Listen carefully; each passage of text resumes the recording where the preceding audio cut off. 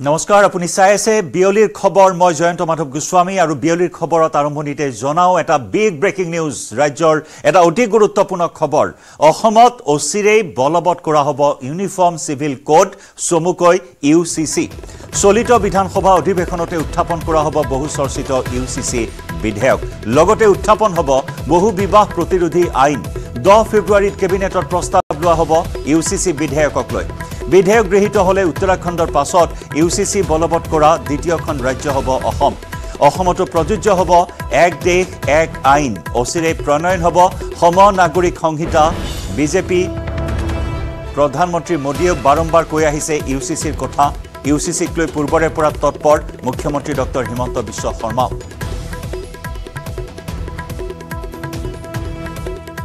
ইতিমধ্যে U C চিৰ এই বিধেয়কক লৈ প্ৰতিক্ৰিয়া প্ৰকাশ কৰিছে বিভিন্নজনে। উত্তৰাখণ্ডই ইউ চি চি সন্দৰ্ভত ইউ চি চি অনা প্ৰক্ৰিয়া সন্দৰ্ভত প্ৰতিক্ৰিয়া প্ৰকাশ কৰিলে বিধায়ক কমলাক্ষদেৱ এটা বস্তু আগতেও আমি কেন্দ্ৰীয় চৰকাৰৰ ফালৰ পৰা ইউ চি চি আনিবলৈ কিবা এটা আমি শুনা পাইছিলোঁ। কিন্তু আল্টিমেটলি দেখা পালোঁ যে এই ইউ চি চিখন টেবুল কৰিব পৰা নাই। Because of that U C C যদি কৰিব লগা হয় তেনেহ'লে আমাৰ বহুত কাষ্ট কমিউনিটিৰ কথা আছে। আমাৰ হিন্দুৰ মাজতো বহুতখিনি কথা আছে। আমাৰ ৰিলিজনৰ মাজতো বহুতখিনি কথা আছে। তেনেহ'লে আমাৰ যিখিনি ট্ৰাইবেল মানুহ আছে সিহঁতৰো কথা আছে। অৰ্থাৎ এই ইউ চি যদি অনা হ'ব তেতিয়া নিশ্চয় আমাৰ বহুতখিনি কথা বাৰ্তা পাতি কেনে তাৰপিছতে বিল এখন যেতিয়া আহিব বল বিল লৈ ডিছকাছ হ'ব এইটো আমি ক'ব লগা একো নাই। কিন্তু কথাটো হৈছে কিন্তু ইউ চি চি যেতিয়া আহিব আনাৰ আগতে বহুতখিনি আমাৰ কনষ্টিটিউশ্যনখন চাব লাগিব আমাৰ সংবিধানখন চাব লাগিব। সংবিধান নচোৱাকৈ আমি হয়তো বা এটা বিল আনিলে আকৌ বিলটো নাল এণ্ড বইড হ'ব। এইটো কাৰণে সংবিধানটো আমি হেৰি কৰি কেনে সংবিধানক আমি অৱমাননা কৰি কেনে আমি কামটো কৰিবলৈ অকণমান প্ৰব্লেম হ'ব। এইটো কাৰণে আজিৰ দিনত আমি ক'ব বিচৰা নাই আপোনাৰ ছত্তীশগড়ে কিবা বিল কি আনিছে? উত্তৰাখণ্ডে। কিবা উত্তৰাখণ্ডে কিবা বিল আনিছে। এই বিলটো আমি চোৱা নাই আগতে চাব লাগিব তাৰপিছতে কমেণ্টটো দিব লাগিব আৰু। আৰু এই ইউ চি চি আইন কোনো কাৰণত গ্ৰহণযোগ্য নহয় এই মন্তব্য এ আই ডি এফৰ বিধায়ক আমিনুল ইছলামৰ।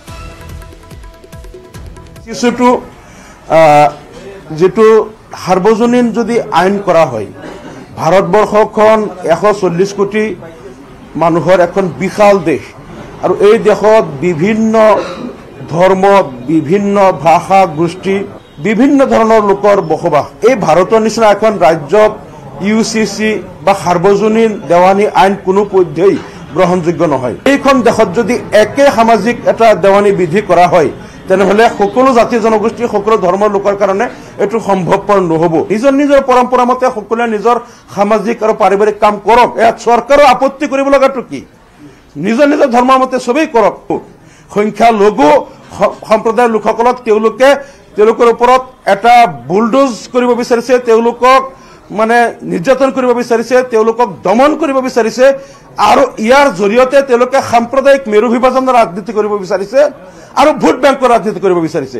এনেধৰণৰ অপ্ৰয়োজনীয় কথাত লাগাতকৈ জনসাধাৰণক কেনেকৈ অৰ্থনৈতিক কেঁকুৰা চেপাৰ পৰা মুক্ত কৰিব কেনেকৈ দেশক স্বাৱলম্বী কৰিব কেনেকৈ উন্নয়ন কৰিব কেনেকৈ ঔদ্যোগিকৰণ কৰিব নিবনুৱা সমস্যা সমাধান কৰিব সেই কামবিলাক কৰক যিবিলাক চৰকাৰৰ দায়িত্ব হয়। ইফালে ইউ চি চিক লৈ প্ৰতিক্ৰিয়া প্ৰকাশ কৰিছে বিধায়ক শ্বেৰমান আলী আহমেদেও। দেখা যাওক ইউ চি চিত কি আছে? ইউ চি চিৰ বহুত এডভান্টেজো আছে ডিজএডভান্টেজ মই চাব লাগিব এইটো এতিয়াই ক'ব নোৱাৰোঁ। এটা সময়ততো ধৰক after British occupied India most of the individual laws were null and void uniform ল আনিছে। গতিকে চাই লওঁ এইটো কি হয়। আৰু এই সমগ্ৰ বিষয়টোক লৈ এতিয়া সৰব চৰ্চা চলিছে। শাসক বিৰোধীৰ মাজত প্ৰতিক্ৰিয়া আৰম্ভ হৈছে ইউনিফৰ্ম চিভিল কোডক কেন্দ্ৰ কৰি আৰু আহি আছে এই ইউনিফৰ্ম চিভিল কোড। উত্তৰাখণ্ডৰ পিছত অসম হয়তো দ্বিতীয়খন ৰাজ্য হ'ব দেশত। আমাৰ জ্যেষ্ঠ সাংবাদিক ছিনিয়ৰ এছ'চিয়েট এডিটৰ পাৰ্থজ্যোতি বৰাৰ সৈতে নিউজ ৰুমৰ পৰা সংযুক্ত হৈছোঁ পোনপটীয়া সম্প্ৰচাৰত। পাৰ্থ বহু চৰ্চিত ইউ চি চিক লৈ সৰব শাসক বিৰোধী। আমি সবিশেষ জানিব বিচাৰিম পূৰ্বৰ বুলেটিনতো আপুনি আমাক জনাইছে। দৰ্শকসকলৰ বাবে আপুনি আকৌ এবাৰ যদি কয় ইউনিফৰ্ম চিভিল কোড সন্দৰ্ভত কিছু তথ্য। জয়ন্ত ইউনিফৰ্ম চিভিল কোড প্ৰযোজ্য হ'ল আইনলৈ ৰূপান্তৰ হ'ল উত্তৰাখণ্ড ৰাজ্যত দেশৰ প্ৰথমখন ৰাজ্য। আৰু অসমৰ মুখ্যমন্ত্ৰী ডক্টৰ হিমন্ত বিশ্ব শৰ্মাই কৈছে উত্তৰাখণ্ডৰ উত্তৰাখণ্ড মডেলকে অসমত ৰূপায়ণ কৰা হ'ব। এতিয়া উত্তৰাখণ্ডৰ ইউ চি চিত যি আছে যি ব্যৱস্থা আছে যিসমূহ ক্লজ আছে সেইসমূহ অসমত যদি ৰূপায়ণ হয় ডাঙৰ প্ৰশ্ন অসমত কি কি নতুন ব্যৱস্থা আহিব যি ব্যৱস্থাই অসমৰ সামাজিক জীৱনত আমূল পৰিৱৰ্তন আনিব। মই যদি। প্ৰথম ব্যৱস্থাটোৰ কথা কওঁ মহিলাৰ সন্দৰ্ভত মহিলাৰ বিবাহৰ বয়স উত্তৰাখণ্ডত বৃদ্ধি কৰা হৈছে ইউ চি চিৰ যোগেদি। এনেভাৱে বৃদ্ধি কৰা হৈছে যাতে মহিলাসকলে বিবাহৰ পূৰ্বেই স্নাতক ডিগ্ৰী গ্ৰহণ কৰিব পাৰে। অৰ্থাৎ যদি ভবা হয় একৈছ বছৰ। মহিলাৰো বিয়া বিয়াৰ বয়স একৈছ বছৰ পুৰুষৰো একৈছ বছৰ। বিবাহৰ পঞ্জীয়ন বাধ্যতামূলক। উত্তৰাখণ্ডত ইউ চি চিৰ যোগেদি কৰা হৈছে। আৰু ডিভোৰ্চৰ ক্ষেত্ৰত বিবাহ বিচ্ছেদৰ ক্ষেত্ৰত স্বামী স্ত্ৰী হাজবেণ্ড ৱাইফৰ গ্ৰাউণ্ড কাৰণ পৃথক পৃথক হ'ব নোৱাৰিব। পৃথক গ্ৰাউণ্ড যি গ্ৰাউণ্ডত যি কাৰণত এগৰাকী পত্নীয়ে ডিভোৰ্চ বিচাৰিব পাৰিব বিবাহ বিচ্ছেদ বিচাৰিব পাৰিব অনুৰূপ গ্ৰাউণ্ডত স্বামীয়ে বিবাহ বিচ্ছেদ বিচাৰিব পাৰিব বা তেওঁলোকৰ গ্ৰাউণ্ড পৃথক পৃথক নহ'ব। বহু বিবাহ নিষিদ্ধ। ইউ চি চিৰ যোগেদি উত্তৰাখণ্ডত বহু বিবাহ নিষিদ্ধ কৰা হৈছে। গতিকে অসমত কিছু পৃথকতা ইয়াত পৰিলক্ষিত হৈছে। যদিহে ইউ চি চিৰ যোগেদি বহু বিবাহ নিষিদ্ধ কৰিব পৰা যায়েই। তেতিয়া অসমত বহু বিবাহ নিষিদ্ধ কৰিবৰ কাৰণে আৰু এখন আইনৰ কিয় প্ৰয়োজন হৈছে সেই সন্দৰ্ভত চৰকাৰে উত্তৰ দিব উচিত সময়ত। মুছলিম মহিলাসকলে পূৰ্বতে তেওঁলোকৰ যি নিয়ম পাৰ্চনেল ল তেওঁলোকৰ কাৰণে যিহেতু বিশেষ কেন্দ্ৰীয় আইন সদনৰ মজিয়াত সংসদৰ মজিয়াত বা বিধানসভাৰ মজিয়াত গৃহীত হোৱা কেন- কেন্দ্ৰীয় আইন নাছিলে গতিকে ঊনৈছশ সাতত্ৰিছ চনত ব্ৰিটিছৰ সময়তে গৃহীত হোৱা এক নিয়মৰ অনুসৰি তেওঁলোক চৰিয়াত আইনৰ যোগেদি ধৰ্ম তেওঁলোকৰ ধৰ্মগ্ৰন্থ লিখা আইনৰ যোগেদি পৰিচালিত হৈছিল আৰু সেই আইনমতে মুছলমান মহিলাসকলে সন্তান তুলি ল'ব নোৱাৰিছিল। কিন্তু ইউ চি চি অহাৰ লগে লগে উত্তৰাখণ্ডত সেই সুবিধা সেই অধিকাৰ মুছলমান মহিলাসকলক দিয়া হৈছে। আৰু আৰু এটা গুৰুত্বপূৰ্ণ কথা ইউ চি চিৰ যোগেদি উত্তৰাখণ্ডত সংলগ্ন কৰা হৈছে। বিবাহৰ পূৰ্বে একেলগে থাকিব বিচৰা যুৱক যুৱতীক বা দম্পতীয়ে পঞ্জীয়ন কৰিব লাগিব। লিভ ইন ৰিলেশ্যন পঞ্জীয়ন কৰিব লাগিব। আৰু যদিহে পঞ্জীয়ন নকৰে উত্তৰাখণ্ডৰ কথা মই কৈ আছোঁ তিনি মাহৰ পৰা ছমাহৰ জেল হ'ব সেই তেনেধৰণৰ দম্পতীৰ। আৰু এই ধৰণৰ সম্বন্ধৰ পৰা যদি সন্তান জন্ম হয় সেই সন্তানে বিবাহিত দম্পতীৰ সন্তানে যি ধৰণে অৰ্থনৈতিক অধিকাৰ সামাজিক অধিকাৰ প্ৰায় অনুৰূপ ধৰণে সেই সন্তানে সেই অধিকাৰ লাভ কৰিব পাৰিব। সংবিধান প্ৰদত্ত- এটা বিষয় ইউ চি চি যিহেতু উত্তৰাখণ্ডত প্ৰযোজ্য হৈ গৈছে অসমতো দহ তাৰিখে কেবিনেট বৈঠক কেবিনেট বৈঠকত অনুমোদন জনোৱাৰ পিছতে অসমতো ইউ চি চি বিধানসভাৰ মজিয়াত ইউ চি চি গৃহীত হ'লে অসমতো ইউ চি চি প্ৰযোজ্য হ'ব আৰু ভাৰতবৰ্ষৰ দ্বিতীয়খন ৰাজ্য হিচাপে অসম পৰিগণিত হ'ব। আৰু সংবিধানে সেই অনুমতি সেই কমিটি ক্ষমতা বিধানসভাসমূহক ইতিমধ্যে প্ৰদান কৰিছে। অনুচ্ছেদ চৌৰাল্লিছৰ যোগেদি। অনুচ্ছেদ চৌৰাল্লিছ হৈছে directive principle of state policies অনুচ্ছেদ চৌৰাল্লিছত কোৱা হৈছে যেতিয়া সময় আহিব ভাৰতবৰ্ষৰ সমাজখনে এক পৰিপক্কতা লাভ কৰিব মেচিয়ৰিটি লাভ কৰিব তেতিয়া চৰকাৰসমূহে সিদ্ধান্ত ল'ব ইউ চি চি প্ৰণয়ন কৰাৰ দিশত।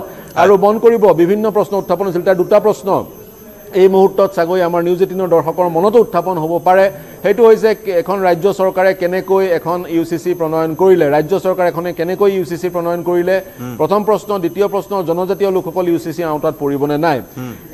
পৰিবাৰ ইউ চি চিয়ে সাঙুৰি লৈছে বিবাহ বিবাহ বিচ্ছেদ উত্তৰাধিকাৰী সূত্ৰে পোৱা সম্পত্তিৰ বিষয়বোৰ।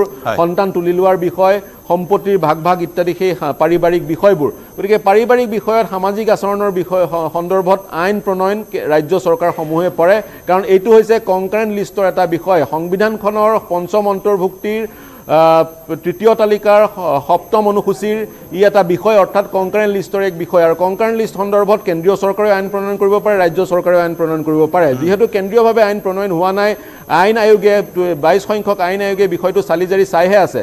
গতিকে ৰাজ্যসমূহে নিজাববীয়াকৈ বিজেপি শাসিত ৰাজ্যসমূহে নিজাববীয়াকৈ এনেধৰণৰ আইন প্ৰণয়ন কৰিছে। কিন্তু ৰাজ্যসমূহে আইন প্ৰণয়ন কৰিলে কিছু কিছু আঁসোৱাহ থাকি যাব পাৰে। উদাহৰণস্বৰূপে এজন ব্যক্তিয়ে যদি অসমত বহু বিবাহ কৰিব নোৱাৰে অসমত ইউ চি চি থকাৰ কাৰণে সেই ব্যক্তিজনে আন এখন ৰাজ্যত গৈ পেলাই বহু বিবাহ কৰিব পাৰে। গতিকে এনেধৰণৰ আঁসোৱাহসমূহ থাকে। গতিকে এনে বিষয়ত কেন্দ্ৰীয়ভাৱে যদি সংসদে এখন আইন আনে তেতিয়া বেছি ফলপ্ৰসূ হ'ব বুলি গুৰুত্বপূৰ্ণ অত্যন্ত গুৰুত্বপূৰ্ণ। ৰাজ্যত এনেদৰে ইউ চি চি বলবৎ কৰাৰ যি নিয়ম যি সংবিধানত তাত বিধি লিখা আছে সেই মৰ্মে এতিয়া অসমতো এই বিধি বলবৎ হ'বলৈ গৈ আছে বা এই তৎপৰতা গ্ৰহণ কৰিছে বিজেপি চৰকাৰে। পাৰ্থ সংযুক্ত হৈ থাকক। আচলতে এই ইউ চি চি হ'লে কি কি ব্যৱস্থা হ'ব? ইতিমধ্যে পাৰ্থই আমাক জনাইছে আমি পুনৰ জনাব বিচাৰিম আমাৰ দৰ্শকসকলক যে ইউ চি চি হ'লে কি হ'ব। ধৰ্মৰ ভিত্তিত আইনৰ ব্যৱস্থা নাথাকিব ৰাজ্যত। সকলো নাগৰিকৰ বাবে একেখনে আইন প্ৰযোজ্য হ'ব। নাথাকিব মুছলিম পাৰ্চনেল ল নাথাকিব হিন্দু ল ব্যৱস্থা। ইউ চি চিৰ পৰা বাহিৰত থাকিব পাৰে জনজাতীয় লোক। লিভ ইন ৰিলেশ্যনক লৈ থাকিব পাৰে সুকীয়া ব্যৱস্থা। পুৰুষ মহিলাৰ বাবে একে হ'ব বিবাহ বিচ্ছেদৰ নিয়ম। পুৰুষ মহিলাৰ বিবাহৰ বয়স হ'ব একৈছ বছৰ। মুছলমানসকলৰ ইদ্যত আৰু হালালা প্ৰযোজ্য নহ'ব। বৈধ অবৈধ বা তুলি লোৱা সন্তানে সমানেই অগ্ৰাধিকাৰ লাভ কৰিব। যিকোনো ধৰণৰ বিবাহ বা নিকাহ পঞ্জীয়নভুক্ত বাধ্যতামূলক হ'ব। মন্দিৰত পতা বিবাহো পঞ্জীয়নভুক্ত কৰিব লাগিব। লিভিং টুগেডাৰ কৰিলেও পঞ্জীয়ন কৰিব লাগিব।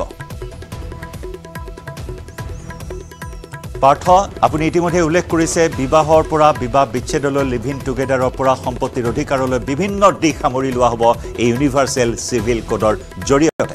জয়ন্ত মই এটা কথা এই মুহূৰ্তত ক'ব বিচাৰিছোঁ। হিন্দু ধৰ্মৰ বেলিকা হিন্দু ধৰ্মৰ বেলিকা এই সামাজিক বিষয়সমূহত প্ৰতিটো বিষয়তে এখন এখন সংসদৰ মজিয়াত গৃহীত হোৱা আইন আছে। উদাহৰণস্বৰূপে Hindu marriage act nineteen fifty four Hindu marriage act nineteen fifty four প্ৰণয়ন কৰা হৈছে নেহেৰুৰ সময়তে। ঊনৈছশ চৌৱন্ন চনতে এই আইনখনৰ যোগেদি হিন্দুসকলৰ বিবাহ বিবাহ বিচ্ছেদ ইত্যাদি নিয়ন্ত্ৰণ হয়। ইয়াৰ বিপৰীতে আকৌ এখন স্পেচিয়েল মেৰিজ এক্টটো আছে সেইখনো পঞ্চাছৰ দশকত প্ৰণয়ন হৈছিলে। গতিকে সেই এক্টখনৰ যোগেদি যদিহে এগৰাকী হিন্দু পুৰুষে এগৰাকী মুছলমান নাৰীৰ সৈতে বিবাহ পাশত আবদ্ধ হয় বা এজন মুছলমান পুৰুষে এগৰাকী হিন্দু নাৰীয়ে বিবাহ পাশত আবদ্ধ হয় সেই বিবাহ পঞ্জীয়ন কৰিবলৈ সেই বিশেষ বিবাহ আইন গতিকে আন ধৰ্মৰ লোকসকলৰ কাৰণে সংসদৰ মজিয়াত প্ৰণয়ন হোৱা আইন আমাৰ হাতত আছেই। ইনহেৰিটেঞ্চৰ কাৰণে আছে সম্পত্তিৰ উত্তৰাধিকাৰী সূত্ৰে সম্পত্তি যি লাভ কৰিব তাৰ কাৰণে আইন আছে। সম্পত্তি ভাগ ভাগ কৰাৰ দিশত আইন আছে। সন্তান তুলি লোৱাৰ ক্ষেত্ৰত আইন আছে। সন্তানে পিতৃৰ ভৰণ পোষণ কেনেকৈ কৰিব এই সন্দৰ্ভত আইন আছে। প্ৰতিটো কথাৰ কাৰণে সংসদৰ মজিয়াত গৃহীত হোৱা নিৰ্দিষ্ট আইন আছে। আছে। কিন্তু মুছলমানৰ বেলিকা তেওঁলোক পৰিচালিত হ'ল চৰিয়া চাৰিয়া ল বা চৰিয়ত লৰ যোগেদি আৰু ইউ চি চি প্ৰযোজ্য হোৱাৰ পিছত সেই কথা প্ৰযোজ্য নহ'ব সেয়া সেই- তেওঁলোক সেই ধৰণে পৰিচালিত হ'ব নোৱাৰিব। কিন্তু অৱকাশ আছে বিভিন্ন সংগঠনে সমগ্ৰ বিষয়টোক ছুপ্ৰিম কোৰ্টৰ মজিয়ালৈ লৈ যোৱাৰ কাৰণ বিভিন্ন লোকে ক'ব বিচাৰে এই যি U C C U C C সংবিধানৰ অনুচ্ছেদ পঁচিছ ছাব্বিছ সাতাইছ আঠাইছৰ পৰিপন্থী পঁচিছ ছাব্বিছ সাতাইছ আঠাইছে সংখ্যালঘু লোকসকলক অৰ্থাৎ মুছলমান খ্ৰীষ্টিয়ান বা শিখ ইত্যাদি লোকসকলক নিজৰ ধৰ্ম প্ৰচাৰ আৰু প্ৰসাৰ কৰিবলৈ অধিকাৰ প্ৰদান কৰে। আৰু এই অনুচ্ছেদকেইটাৰ ভিত্তিতে বিভিন্ন সময়ত আপুনি মন কৰিব ধৰ্মীয় সংখ্যালঘু লোকসকলে শিক্ষা শিক্ষা স্কুল বা উচ্চ শিক্ষাৰ অনুষ্ঠানো প্ৰতিষ্ঠা কৰে। আলিগড় মুছ আলিগড় মুছলিম ইউনিভাৰ্চিটি বা মাদ্ৰাছাসমূহ এই আইনৰ অধীনতে এই অনুচ্ছেদকেইটাই যি যি অধিকাৰ প্ৰদান কৰিছে সেই অধিকাৰৰ ভিত্তিতে সেই অনুষ্ঠানসমূহ স্থাপন হয়। গতিকে এই অনুচ্ছেদকেইটাৰ পৰিপন্থী নেকি ইউ চি চি এই মুহূৰ্তৰ ডাঙৰ প্ৰশ্ন কিন্তু আইনী বিশেষজ্ঞসকলে যিসকলে ইউ চি চিৰ সমৰ্থন কৰে তেওঁলোকে ক'ব বিচাৰে ইউ চি চি সৈতে হৈছে এক সামাজিক আচৰণসমূহক নিয়ন্ত্ৰণ কৰাৰ এক ব্যৱস্থা আৰু অনুচ্ছেদ পঁচিছ ছাব্বিছ সাতাইছ আঠাইছ হৈছে সংখ্যালঘু লোকসকলক দিয়া এক অধিকাৰ। গতিকে ইটোৱে আনটোৰ পৰিপন্থী বা ইটোৱে আনটোৰ পৰিপূৰক পৰিপন্থী নহয় বৰঞ্চ পৰিপূৰকহে বুলি কিছু লোকে ক'ব বিচাৰে যি ইউ চি চিৰ সমৰ্থন কৰে। জয়ন্ত। নিশ্চয় পাৰ্থ সংযুক্ত হৈ থাকক। অতি গুৰুত্বপূৰ্ণ কথা যে উত্তৰাখণ্ডৰ পিছত এতিয়া দ্বিতীয়খন ৰাজ্য হ'বলৈ গৈ আছে অসম যি ইউনিভাৰ্চেল চিভিল কোড প্ৰণয়ন কৰিব বা ইয়াৰ ক্ষেত্ৰত সিদ্ধান্ত গ্ৰহণ কৰা হৈছে বা তৎপৰতা গ্ৰহণ কৰা হৈছে আৰু সেইবাবেই চলিত বাজেট অধিৱেশনতে উত্থাপন হ'ব বহু বিবাহ প্ৰতিৰোধী বিধেয়ক আৰু বহু বিবাহ বিধেয়ক সন্দৰ্ভত দহ ফেব্ৰুৱাৰীত কেবিনেট বৈঠকত লোৱা হ'ব চূড়ান্ত সিদ্ধান্ত। বিধেয়ক আইনত পৰিণত হ'লে ৰাজ্যত আইনীভাৱে নিষিদ্ধ হ'ব বহু বিবাহ। বহু বিবাহত জড়িত লোকৰ বিৰুদ্ধে হ'ব আইনী ব্যৱস্থা মুখ্যমন্ত্ৰী হিমন্ত বিশ্ব শৰ্মাই পূৰ্বেই ঘোষণা কৰিছিল বিধেয়ক উত্থাপনৰ কথা। বহু বিবাহ প্ৰতিৰোধী বিধেয়কক লৈ ইতিমধ্যে ৰাজ্যৰ ৰাজনীতিত আৰম্ভ হৈছে ক্ৰীড়া প্ৰতিক্ৰিয়া। জ্যেষ্ঠ সাংবাদিক বিপুল বৰ্মনৰ সৈতে সংযুক্ত হৈছোঁ পোনপটীয়া সম্প্ৰচাৰত নিউজ ৰুমৰ পৰা বিপুল। দহ ফেব্ৰুৱাৰীৰ কেবিনেটত লোৱা হ'ব এই সিদ্ধান্ত এই সন্দৰ্ভত গুৰুত্বপূৰ্ণ সিদ্ধান্ত। চাওক জয়ন্ত এই মুহূৰ্তৰ আটাইতকৈ ডাঙৰ খবৰ এইটোৱেই যে বৰ্তমান সময়ত পাঁচ তাৰিখৰ পৰা পাঁচ ফেব্ৰুৱাৰীৰ পৰা যি পঞ্চদশ অসম বিধানসভাৰ যি বাজেট অধিৱেশন দুহেজাৰ চৌব্বিছ পঁচিছৰ অধিৱেশন চলি আছে বাৰ তাৰিখে বিত্তমন্ত্ৰী অজন্তা নেওগে বাজেট দাখিল কৰিব। কিন্তু ইয়াৰ মাজতে ডাঙৰ খবৰটো এইটোৱেই যে আপোনাৰ বহু বিবাহ প্ৰতিৰোধ যিখন আইন আৰু লগতে ইউ চি চি এই দুয়োখন বিধেয়ক এই আমাৰ অসমতো উত্থাপন কৰিবলৈ গৈ আছে। ইতিমধ্যে উত্তৰাখণ্ডৰ পিছত আমাৰ অসমত যদি উত্থাপন হয় মই ইয়াৰ আগতেও কৈছোঁ যে যদি উত্থাপন হয় তেতিয়া গৃহীত হোৱাৰ চান্স আছে আৰু আইনত পৰিণত হ'ব। এইকাৰণেই যে সংখ্যাই কৈ আছে। কাৰণ কিয় আপুনি যদি sixty three M L A আছে বিজেপিৰ ইউ পি পি এলৰ আছে ছেভেন অসম গণ পৰিষদৰ আছে নাইন আৰু বি পি এফৰো তেওঁলোকৰ ফ্ল'ৰ কৰ্ডিনেশ্যনত তিনিজন। গতিকে প্ৰায় নব্বৈৰ ওচৰত তেওঁলোকৰ মিত্ৰজোঁটৰ এন ডি এৰ বিধায়ক আছে। গতিকে এই যিখন বহু বিবাহ প্ৰতিৰোধ আইন আছে এই আইনখন গৃহীত হ'ব। এতিয়া আটাইতকৈ ডাঙৰ কথা যিসকল এমপ্লয় আছে বা যিসকল মন্ত্ৰী বিধায়ক বা সাংসদ বা পঞ্চায়তৰ যিসকল প্ৰতিনিধি এই তেওঁলোক বিপদত পৰিব নেকি? গতিকে এই গোটেই বিষয়টো আচলতে আইনখনত কি কি লিখা থাকিব বিধেয়কখনত?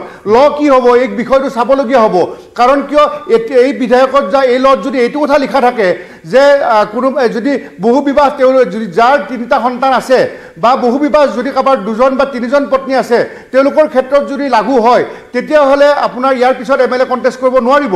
ধৰক এজন আপোনাৰ পঁচিছ বছৰ হোৱা ব্যক্তি বা ত্ৰিছ বছৰ হোৱা ব্যক্তি তেওঁ যদি তিনিজন সন্তান আছে তেতিয়াহ'লে তেওঁ বিধায়কৰ কাৰণে তেওঁ নমিনেশ্যন দিব নোৱাৰিব পঞ্চায়তত নমিনেশ্যন দিব নোৱাৰিব। আৰু যদি বিধায়ক বা এম পি ইলেকশ্যন খেলিব নোৱাৰে তেতিয়াহ'লে তেওঁ মিনিষ্টাৰ ইউনিয়ন মিনিষ্টাৰ বা আমাৰ অসমৰ মন্ত্ৰী হ'ব নোৱাৰিব। কাৰণ মই বিশেষকৈ অসমৰ কথাই কৈছোঁ অসমত মন্ত্ৰী হ'ব নোৱাৰিব। গতিকে অসমত নমিনেশ্যন দিব নোৱাৰিব এম পিৰ কাৰণে। গতিকে এইবাৰৰ যি আপোনাৰ অসম বিধানসভাৰ বাজেট অধিৱেশনত যিধৰণে ইউ চি চিৰ লগতে এই যে বহু বিবাহ প্ৰতিৰোধ যিখন আইন বিধেয়ক এই বিধেয়কখন উত্থাপন কৰিব বিধেয়কত কি লিখা থাকিব? জয়ন্ত এইটো অত্যন্ত গুৰুত্বপূৰ্ণ। কিন্তু আমি যিমানখিনি খবৰ পাইছোঁ আপুনি যিটো কথা কৈছে দহ ফেব্ৰুৱাৰীৰ দিনাখন কেবিনেটৰ সিদ্ধান্ত ল'ব। গতিকে যদি এই কথাটো লিখা থাকে তেতিয়াহ'লে কিন্তু চৰকাৰী কৰ্মচাৰীও বিপদত পৰিব সমান্তৰালকৈ যিসকলে জনপ্ৰতিনিধি হ'ম বুলি ভাবিছে এতিয়া যিসকল হৈ আছে তেওঁলোকৰ বিপদ নাই। কিন্তু যি পৰৱৰ্তী সময়ত যিসকলে ৰাজনীতি কৰিম বুলি ভাবিছে তেওঁলোকৰ কাৰণে কিন্তু ভাবুকি সদৃশ হ'ব। আৰু সমানকৈ সমান্তৰালকৈ যদি ইউনিফৰ্ম চিভিল কোডৰ কথা আমাৰ সতীৰ্থ সাংবাদিক পাৰ্থই সুন্দৰকৈ বৰ্ণনা কৰি আছে যে চৰিয়ত আইনখন সেইখন আইনখন লাগু হৈছিলে নাইনটিন থাৰ্টি ছেভেনত গতিকে তাৰ চৰিয়ত আইনখন চৰিয়তখনটো আগৰ পৰা আছিলেই। কিন্তু তাৰপিছত যেতিয়া ভাৰতীয় সংবিধানত যেতিয়া লিখা আছিলে পঁচিছ ছাব্বিছ সাতাইছ আঠাইছত যে এই আপোনাৰ আপোনাৰ সংখ্যালঘু মাইনৰিটি যিমানখিনি আছে ধৰক অকলেই খ্ৰীষ্টিয়ান বা আমাৰ মুছলমানকে মই ক'লোঁ তেওঁলোকে নিজৰ নামাজ বা নিজৰ ধৰ্ম প্ৰচাৰৰ কাৰণে সুবিধা আছে। কিন্তু সমান্তৰালকৈ ফৰ্টি ফ'ৰ অনুচ্ছেদত এই কথাটোও কোৱা আছে যে যদি প্ৰয়োজন হয় তেতিয়াহ'লে ইউ চি চি আনিব পাৰে। গতিকে যদি ইউ চি চিখন আনে তেতিয়াহ'লে এনেধৰণৰ কথা হ'ব পাৰে যে আমাৰ যদি ইউনিফৰ্ম চিভিল কোড মানে যদি সমান সমান হয় তেতিয়াহ'লে আমাৰ হিন্দু ধৰ্মত এই কথাটো লিখা আছে যে আমাৰ মন্দিৰ বা পুৰোহিত লৈ আমি ধৰণে বিবাহ কাৰ্য সম্পাদন কৰে। এতিয়া এই ইউ চি চি আমাৰ অসমত বিধেয়কখনত কি লিখা থাকিব? কাৰণ কিয় মাইনৰিটি ইছলাম ধৰ্মাৱলম্বীৰ এজন যদি গৃহীত হৈ যায় আইনত পৰিণত হয় তেতিয়াহ'লে সংখ্যালঘুৰ সেই যুৱক বা যুৱতীয়ে কি ধৰণে বিবাহ সম্পা কাৰ্য সম্পাদন কৰিব? মই এইটো এটা উদাহৰণে দিছোঁ। গতিকে এই যি ধৰণে সমগ্ৰ আজি প্ৰফেট মহম্মদৰ দিনৰ পৰা কৈ অহা হৈছিলে যে তালাক দিব নোৱাৰিব তালাক তালাক দিব পাৰিব প্ৰয়োজন সাপেক্ষে কিন্তু তালাক দিয়াটো তেওঁলোকে পাপ বুলি কৈছে। গতিকে তাৰ উপৰিও এই যিটো আপোনাৰ পঁচিছ ছাব্বিছ সাতাইছ আঠাইছৰ পৰিপন্থী হ'ব বুলি কৈ আছে তাত তেওঁলোকে ধৰ্ম প্ৰচাৰ কৰিব পাৰে। ইতিমধ্যে প্ৰায় বিছ মিনিট সময় আমাৰ সতীৰ্থ সাংবাদিক পাৰ্থই সুন্দৰকৈ বুজাই দিছে। গতিকে তাত কোৱা আছে যে ধৰ্ম প্ৰচাৰ কৰিব পাৰিব বিশেষকৈ তেওঁলোকে নামাজ বা তেওঁলোকে যে মাদ্ৰাছা বা তেওঁলোকে যিটো ধৰ্ম প্ৰচাৰ মই ইছলাম ধৰ্মৰ কথাটো উদাহৰণ দি কৈ আছোঁ। যদিও তাত খ্ৰীষ্টিয়ান ধৰ্মাৱলম্বী বা শিখ বা অন্যান্য ধৰ্মৰ কথাও আছে। কিন্তু গতিকে এই আচল আটাইতকৈ ডাঙৰ কথা হ'ব যে যিহেতু আঠাইছ ফেব্ৰুৱাৰীৰ দিনাখন অসম বিধানসভাৰ শেষ দিন বাৰ তাৰিখে বাজেট হ'ব। কেতিয়া এই গোটেই বিধেয়কখন আপোনাৰ উত্থাপন কৰিব? উত্থাপন কৰাৰ সময়ত আমি চাব লাগিব যে তাত কোনবোৰ কথা লিখা আছে। গতিকে বিধায়ক হোৱাৰ পিছত আইন হ'ব। গতিকে সেই সময়তহে গুৰুত্বপূৰ্ণ হ'ব যে কি ধৰণৰ আইনত লিখা আছে। ইয়াৰ আগতো আপোনাৰ গো মাংস বিক্ৰী বন্ধ কৰা আছিলে গো আইন আনিছিলে বা বিভিন্ন ধৰণৰ। এতিয়া বহু বিবাহ ইউ চি চি থকাৰ পিছত বহু বিবাহ নালাগেই। কিন্তু তথাপিও ইউ চি চি যদি গৃহীত হৈ আইন হয় তথাপিও বহু বিবাহ আইনখনো আনিব বিচাৰিছে। গতিকে বহু বিবাহ আইন আনিলে কিন্তু বিশেষকৈ বিপদত পৰাৰ সম্ভাৱনা আছে চৰকাৰী কৰ্মচাৰীৰ লগতে যিসকল জনপ্ৰতিনিধি হ'ব বিচৰা বা ভৱিষ্যতে ৰাজনীতিত কণ্টেষ্ট কৰিব বিচৰা চৰকাৰী। কৰ্মচাৰীৰো বিপদ হোৱাৰ আশংকা থাকিব এই কথা ইতিমধ্যে আপুনি আমাক জনাইছে বিশ্লেষণ কৰিলে। ধন্যবাদ জনাইছোঁ বিপুল। সবিস্তাৰে এই তথ্য আগবঢ়াৰ আগবঢ়োৱাৰ বাবে। আমি নিউজ ৰুমলৈ যাম। আনগৰাকী সতীৰ্থ আমাৰ senior associate editor Parthajyoti Bora আপোনাৰ কাষলৈ আহিছোঁ। ইদ্যত আৰু হালালাৰ কথা কোৱা হৈছে। নাথাকিব মুছলমানসকলৰ ইদ্যত আৰু হালালা। সমান্তৰালকৈ জনজাতিসকলৰ কথা প্ৰশ্ন উত্থাপন হৈছে। যিহেতু আপুনি আৰম্ভণিতে জনাইছে যে উত্তৰাখণ্ডৰ মডেলটোকেই অসমতো প্ৰয়োগ কৰা হ'ব। গতিকে জনজাতীয় লোকসকলৰ ক্ষেত্ৰত কি ব্যৱস্থা আহিব পাৰে এই সন্দৰ্ভত পুনৰ জানিব বিচাৰি। আহ, জয়ন্ত বিপুলৰ কথাৰ হাত ধৰি মই এটা কথা ক'ব বিচাৰিছোঁ। আইনখন প্ৰণয়ন হ'লে ৰেট্ৰস্পেক্টিভ ইমপ্লিমেণ্টেশ্যন চাগে নহ'ব অৰ্থাৎ যিসকলে অলৰেডি বহু বিবাহ কৰিলে। আইনখন প্ৰণয়ন হোৱাৰ আগতে তেওঁলোক সম্ভৱতঃ আওতালৈ নাহিব এই আইনখনৰ ইউ চি চিৰ বা বহু বিবাহ প্ৰতিৰোধ আইনখনৰ। কাৰণ সচৰাচৰ আইনবোৰ যেতিয়া প্ৰণয়ন কৰা হয় প্ৰণয়ন কৰাৰ দিনটোৰ পৰা আইনখন প্ৰযোজ্য হয়। ইয়াৰ আগতে যিসকলে আই সেই আইনখনৰ সেই আইনখনত নিষিদ্ধ বুলি ঘোষণা কৰা কাম কৰিলে তেওঁলোকক সেই আওতালৈ অনা নহয় সচৰাচৰ। সেইকাৰণে কৈছোঁ ইন ৰেট্ৰস্পেক্ট ৰেট্ৰস্পেক্টিভ ইমপ্লিমেণ্টেশ্যন চাগে নহ'ব প্ৰস্পেক্টিভ ইমপ্লিমেণ্টেশ্যন হোৱাৰে পূৰ্ণ সম্ভাৱনা আছে। প্ৰথম কথা দ্বিতীয় কথা জনজাতীয় লোকসকল। জনজাতীয় লোকসকলৰ মাজত অসম তথা উত্তৰ পূৰ্বাঞ্চলৰ জনজাতীয় লোকসকলৰ মাজত বিভিন্ন সময়ত বহু বিবাহ প্ৰচ- বহু বিবাহ এক প্ৰচলিত ৰীতি হিচাপে গণ্য কৰা দেখা পোৱা যায়। দেখা পোৱা যায় যদিও এতিয়া বহু তেনেধৰণৰ জনজাতীয় সমাজত বহু বিবাহ নাই কিন্তু পৰম্পৰাগতভাৱে বহু বিবাহ বৈধ বা বহু বিবাহৰ অনুমতি জনজাতীয় সমাজত অনুমতি প্ৰদান কৰা হয় আৰু হিন্দুসকলৰ মাজত মূলসুঁতিৰ শব্দটোৱেই ব্যৱহাৰ কৰিছোঁ। মূলসুঁতিৰ হিন্দুসকলৰ মাজত বহু বিবাহ নিষিদ্ধ by virtue of Hindu marriage act nineteen fifty four Hindu marriage act nineteen fifty ফ'ৰে বহু বিবাহ নিষিদ্ধ কৰিছে। এতিয়া জনজাতীয় লোকসকলক সংবিধানে সুৰক্ষা প্ৰদান কৰিছে। যদিহে মই নাগালেণ্ডৰ লোকসকলৰ কথা কওঁ এশ শতাংশই জনজাতীয় মিজোৰামৰ প্ৰায় এশ শতাংশই জনজাতীয় মেঘালয়ৰ প্ৰায় এশ শতাংশই জনজাতীয় লোক বা জনজাতীয় ৰাজ্য। সেই ৰাজ্যসমূহৰ জনজাতীয় লোকসকলক সংবিধানৰ এশ এসত্তৰ তিনিশ এসত্তৰৰ পৰা আৰম্ভ কৰি চাৰি পাঁচটা অনুচ্ছেদ আছে যিকেইটা অনুচ্ছেদে তেওঁলোকক সুৰক্ষা প্ৰদান কৰিছে বা তেওঁলোকৰ যি পৰম্পৰাগত আইন পৰম্পৰাগত যি বিধি যি বিধিৰ যোগেদি তেওঁলোকৰ সমাজখন প্ৰচলিত হয় সেই বিধিসমূহক সুৰক্ষিত কৰিছে। সেই বিধিসমূহক ইউ চি চিয়ে অভাৰ পাৱাৰ বা ক্ষমা কৰিব ছুপাৰচিড কৰিব নোৱাৰিব। ছুপাৰচিড কৰিব নোৱাৰিব। অসমৰ জনজাতীয় লোকসকলৰ বিলিকাও অসমৰ মুখ্যমন্ত্ৰী গ- গৰাকীয়ে কোৱা মতে তেওঁলোকৰ পৰম্পৰাগত যিসমূহ নীতি বা যিসমূহ বিধি বা যিসমূহ বিধান সংৰক্ষিত by virtue of Indian constitution ভাৰতীয় সংবিধানৰ যোগেদি সেইসমূহক স্পৰ্শ ইউ চি চিয়ে কৰিব নোৱাৰিব কাৰণ তেওঁলোক অলৰেডি প্ৰটেক্টেড যেনেকৈ চি এ এ প্ৰযোজ্য নহ'ল ষষ্ঠ অনুসূচীৰ অনু ৰাজ্যসমূহত বা ষষ্ঠ অনুসূচীৰ অঞ্চলসমূহত যিধৰণে চি এ প্ৰযোজ্য নহ'ল I L P A inner line পাৰ্মিটে প্ৰটেকশ্যন প্ৰদান কৰা সুৰক্ষা প্ৰদান কৰা ৰাজ্যসমূহত অনুৰূপ ধৰণে ইউ চি চিও সেইসকল লোকৰ মাজত প্ৰযোজ্য নহ'ব। ইউ চি চি মাথো প্ৰযোজ্য হ'ব এক অৰ্থত ক'বলৈ গ'লে হিন্দুসকল প্ৰায় নব্বৈ শতাংশ যাহত- কাৰণ তেওঁলোকৰ হিন্দু মেৰিজ এক্ট আছেই তেওঁলোকে U C C U C চিত যিবোৰ নিয়ম আহিব সেইবোৰ নিয়মৰ মাজেৰে পৰিচালিত হৈ আহিছে। জনজাতীয় লোকসকলক বাদ দি। মুছলমানসকলৰ ক্ষেত্ৰত যিহেতু পৃথক এখন ধৰ্মীয় আইন আছে আৰু সেই আইনখন বৈধ আজিৰ তাৰিখলৈকে সকলোতকৈ প্ৰভাৱিত হ'ব মুছলমান সমাজ। মুছলমান সমাজৰ ত্ৰিপুল তালাক ইতিমধ্যে নিষিদ্ধ কৰা হৈছে। হালালা নাথাকিব ইদ্দত নাথাকিব বহু বিবাহ কৰিব নোৱাৰিব। আৰু তেওঁলোকৰ একেবাৰে তেওঁলোকৰ যিখন চৰিয়ত ল সেই চৰিয়ত লখন একেবাৰে ইনএপ্লিকেবল হৈ যাব। সেইখন প্ৰযোজ্য নহ'ব। তাৰ ঠাইত ইউ চি চিৰ যোগেদি তেওঁলোক পৰিচালিত হ'ব লাগিব। এক দেশ এক আইন নীতি অসমৰ ক্ষেত্ৰতো অতি শীঘ্ৰেই বলবৎ হ'ব ৰূপায়ণ কৰা হ'ব আৰু তাৰ বাবে ইতিমধ্যে তৎপৰতা গ্ৰহণ কৰিছে চৰকাৰে। ধন্যবাদ পাৰ্থ। আপুনি বিশ্লেষণ আগবঢ়ালে ইউনিভাৰ্চেল ইউনিফৰ্ম চিভিল কোড সন্দৰ্ভত সবিশেষ।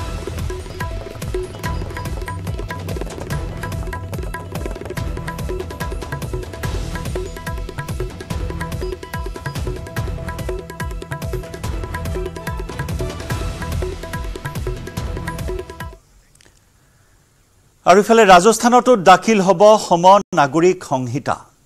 পৰৱৰ্তী বিধানসভাত উত্থাপন কৰা হ'ব এই বিধেয়কখন।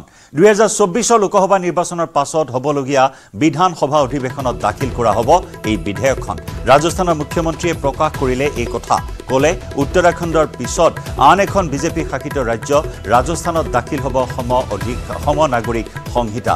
লগতে ক'লে অসম উত্তৰ প্ৰদেশ গুজৰাট মহাৰাষ্ট্ৰতো হ'ব সম নাগৰিক সংহিতা মোদী চৰকাৰৰ তৃতীয়টো কাৰ্যকালত সমগ্ৰ দেশতে বলবৎ হ'ব সম নাগৰিক সংহিতা